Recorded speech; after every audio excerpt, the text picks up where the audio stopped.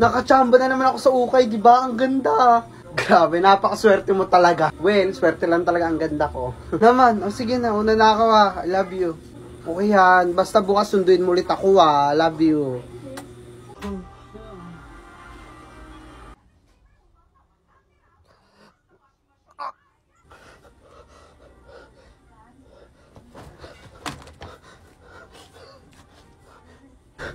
Hello, Han.